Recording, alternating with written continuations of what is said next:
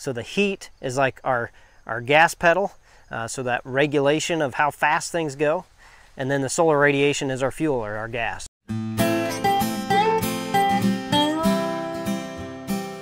Hi, and welcome back to another agronomic update here in north central Iowa. I'm Phil Long, regional agronomist with Liqui-Grow, talking about cooler temperatures and how it impacts corn growth.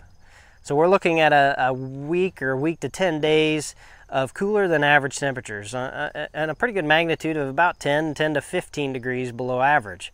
Feels really great outside right now, uh, but we're going to talk about how that impacts the corn plant and how it's growing. So I want to relate this to an engine or a motor because I like to relate to things. Uh, we talk about corn in terms of a factory, same kind of deal, but let's think about it in terms of an engine or a motor. So the two ingredients I'm going to give you today are heat and solar radiation. So the heat is like our, our gas pedal, regulation of how fast things go, and then the solar radiation is our fuel or our gas. So those two things are, are big drivers in how quickly the corn plant moves through stages. We talk a lot about GDU accumulation, growing degree units, and when we calculate that, we use 50 and 86. So what do those mean? Those are kind of the top and the bottom temperatures of when photosynthesis is, is working, how efficiently it's working. So 86 is the top. Much above that, into the 90s, uh, things are going to kind of slow down and start to go backwards because the pl plant is expending a lot of energy to respire and stay cool. Uh, below 50, obviously, there's not a lot happening in terms of photosynthesis either. Things are just really slow. Uh, so that's kind of ideal. Or we could say, you know, an 80, 85 degree day and a 65 degree night would be ideal. It'd let the plant recover at night, move those sugars into the ear, into the roots and other parts that are growing. And during the day, it's making the best use of that photosynthesis. So that would be ideal. What are we looking at for the next seven to 10 days? Well, 10 to 15 degrees below average. So what happens to the corn plant? Well, it slows things down. That heat isn't there. We're backing off on that throttle, that fuel pedal, so we're slowing the corn plant down. That means it spends more time in reproduction, more time in the phase that it's in right now, which is approaching R4. This one's a little behind. This one's uh, more like uh, the blister stage, but a lot of our corn around here is R3 to R4, so milk to, to dough stage. So it spends a little more time in that, and it takes a little bit more time to get to uh, uh, black layer or maturity. Uh, typically, this is a good thing. We talk, talk about this in terms of fungicides and other stress reducing things that we can do to the corn plant because it's helping it spend more time in reproduction. So, should we be looking for a yield bump? Well, I'm going to give you a caveat, and the caveat is solar radiation. That's the gas, like I mentioned, the fuel that keeps the thing going. Without that, we're not doing much.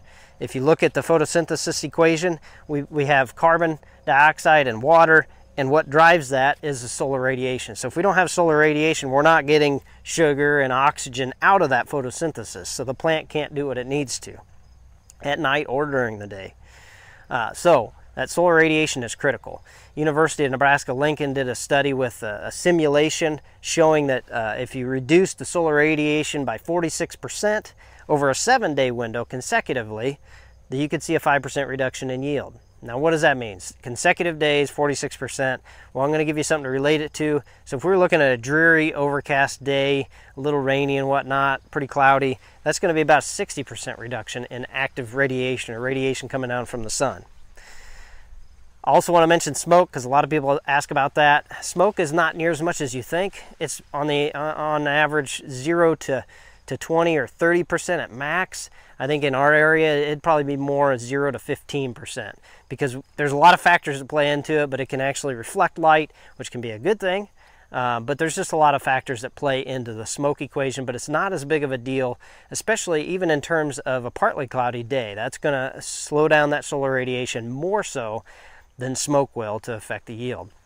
So two factors there, heat and solar radiation. I think if we saw both of those together, which we're likely not going to see right now, we're not seeing it.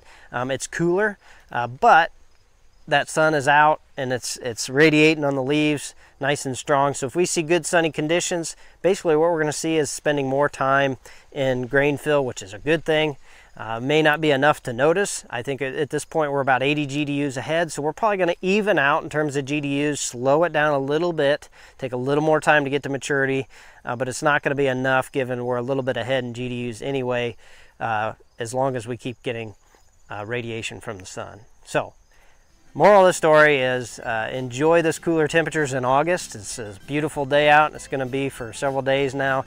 Enjoy the temperatures. The corn's going to keep growing as long as it has that sun going uh, and, and there won't be anything to worry about uh, in terms of yield. So thanks for watching this week's video and we look forward to seeing you on the next one. Stay in the know with Liqui-Grow.